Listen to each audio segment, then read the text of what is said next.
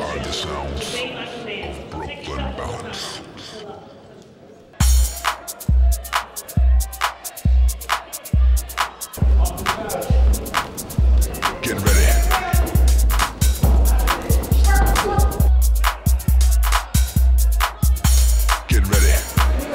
Robin Taylor scores his foul 80-71, and Luis Rivera and Robert Perez both scored this bout 79-72 for your winner decision.